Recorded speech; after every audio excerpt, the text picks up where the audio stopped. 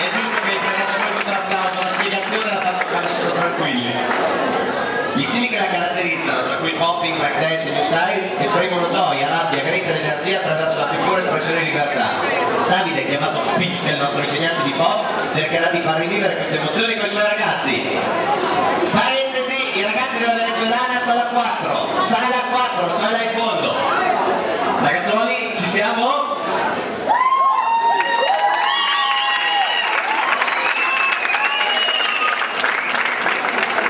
Speriamo che sia anche quella giusta.